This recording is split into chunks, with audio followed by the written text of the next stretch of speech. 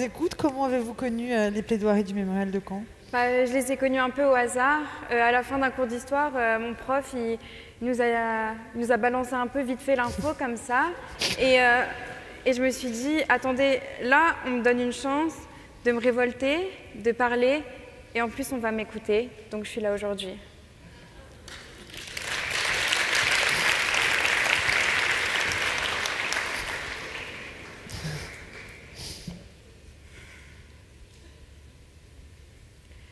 16 juillet 2018. Dika Daernour arrive en urgence dans l'hôpital le plus proche de chez elle. Victime d'une hémorragie, cela fait deux jours entiers qu'elle se vide de son sang. Malgré les efforts des médecins, il est déjà trop tard. Dika meurt dans la soirée. Sa vie, qui venait à peine de commencer, s'arrête brusquement. Elle n'avait que dix ans. Elle ne le méritait pas. Pourtant, deux jours avant, tout allait bien. Aucun problème de santé, pas de conflit, pas de guerre. Dika vit une enfance paisible dans son village natal, situé au centre de la Somalie. Un matin, celui du 14 juillet 2018, sa mère l'emmène, elle et ses deux sœurs, chez l'une des grands-mères du village. Bien coiffée, bien habillée, elle sent que cette journée va être spéciale. On lui dit et on lui répète qu'elle va devenir une femme, une vraie femme. Étonnant, me direz-vous, car comment devient-on une femme? Et surtout, comment devient-on une femme à seulement 10 ans? Cette grand-mère, chez qui on l'a emmenée, a pour mission de perpétuer la tradition. Et c'est donc au nom de cette même tradition que Dika se retrouve complètement nue, plaquée au sol, une lame s'enfonçant dans sa chair. Sans aucune précaution, on vient découper son intimité, la trancher, la déchiqueter. On enlève le clitoris avant de coudre les grandes lèvres entre elles. Dika hurle, se débat, pleure, crie, se déchire la voix. Mais on ne l'entend pas, ou plutôt, on ne l'écoute pas. Involontairement, une veine est sectionnée. Ça lui sera fatal. Tout cela n'aura duré que quelques minutes. Il n'aura fallu que quelques minutes pour lui arracher cette partie d'elle-même. Quelle mère horrible devez-vous penser? Comment a-t-elle pu? Comment a-t-elle pu, faire ça à ses propres enfants? C'est une meurtrière. Elle a assassiné sa fille, c'est elle la coupable. Et pourtant, elle le jure, elle ne voulait pas tuer Dika.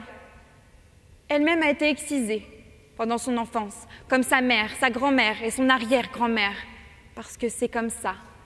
C'est un rituel certes douloureux, mais obligatoire dans la vie d'une femme.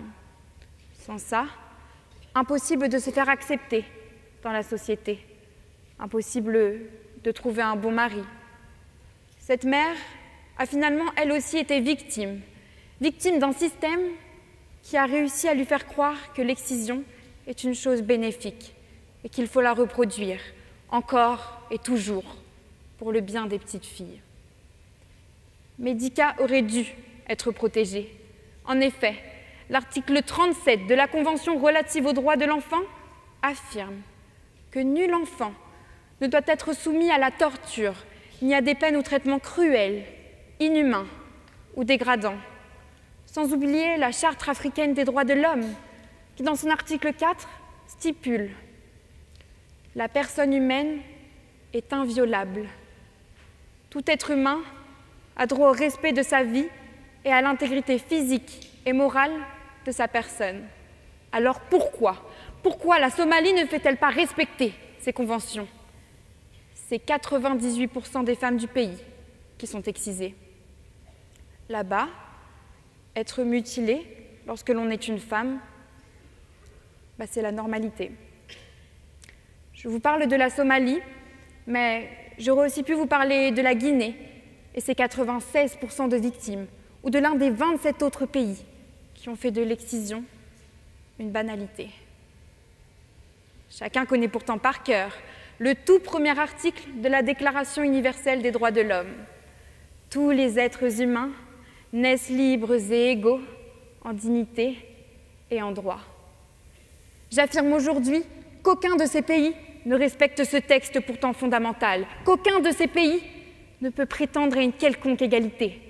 On mutile des petites filles pour qu'elles n'aient jamais de plaisir sexuel. On les coud afin de préserver leur virginité et qu'une fois mariées, elles soient fidèles à leur époux. On leur retire le clitoris, organe de plaisir, parce qu'il est jugé empoisonné. Mais quand allons-nous enfin cesser de considérer le plaisir des femmes comme un poison? C'est pour ces raisons que Dika et des milliers d'autres sont mortes et que des millions d'autres vivent chaque jour avec cette lourde cicatrice qui ne s'effacera jamais. Et ne nous voilons pas la face. Si Dika avait été un petit garçon, eh ben elle serait encore vivante aujourd'hui. Et vous savez ce qui l'a vraiment tué? C'est le silence, le tabou qui entoure cette pratique. On a tellement répété à ses parents que l'excision était sans aucun danger qu'il aura fallu qu'elle se vide entièrement de son sang pour qu'on remarque le problème.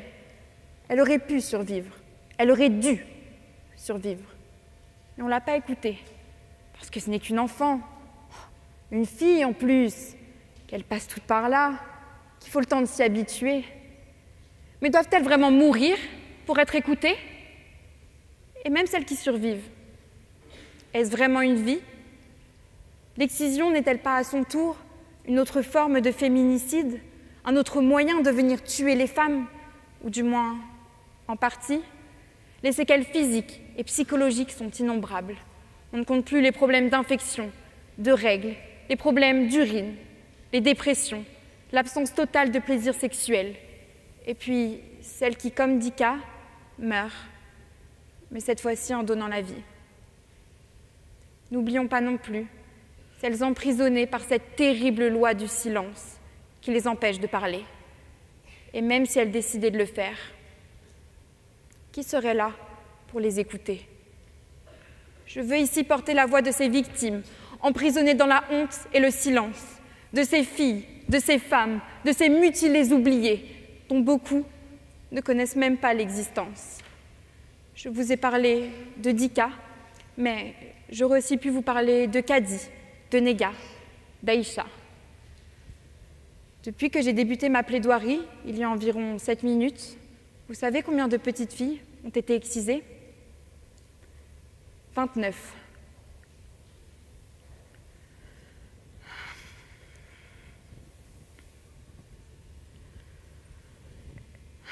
Alors oui, aujourd'hui, il est de notre devoir de nous indigner et de lutter contre l'excision, contre ce système de domination qui, malgré les lois pour l'interdire, persiste.